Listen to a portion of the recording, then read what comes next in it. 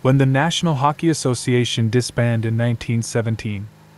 The National Hockey League was born in Montreal, Canada. The objective is to score goals by shooting the puck into the opponent's net, all done while skating on ice.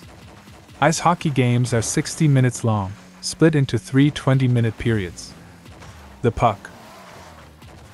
NHL games use approximately 45 during a regulation game. It is made of vulcanized rubber. Has a 1 inch thickness and a 3 inch diameter.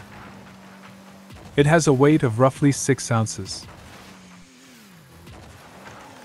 After the addition of the Seattle Kraken back in 2021, it brought the total number of teams in the NHL to 32. Last match of the season is known as the Stanley Cup.